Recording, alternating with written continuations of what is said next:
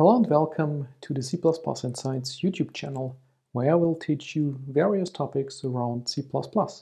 I'm your host, Andreas Fertig, a trainer and consultant for C++.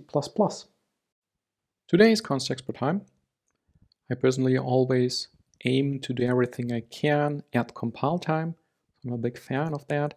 And here I have some example. I have this function sum calculation, which takes one single parameter i. It's constexpr, so it means it can be executed at compile or at runtime. Internally, it simply subtracts i from 6. And here I have my uses, so I have my object Alfred, which calls some calculation at compile time, and I have another object Robin, which also calls some calculation at compile time just with a different value. And then I have the two runtime object, Clark and Lewis, which basically call some calculation like we just saw it with 1 and 0.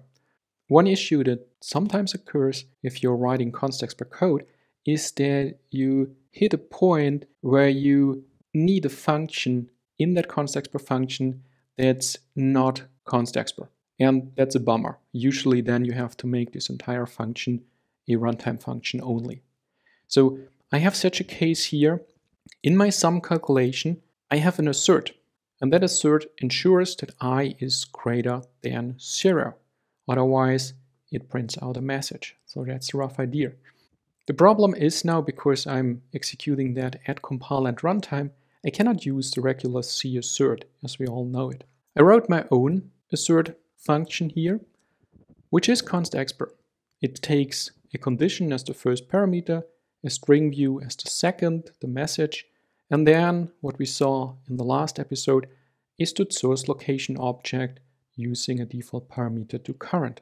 Internally now, in line number 12, it uses a new C++20 element, std is constant evaluated.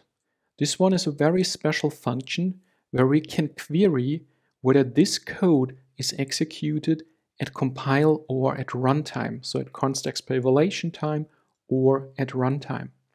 What I'm checking here for is that we are not in a constant evaluated context, so not at compile time, then check whether the condition is not met, and if so, I'll put a message which we can see here, which is I think very close to the original assert message, and after that call terminate.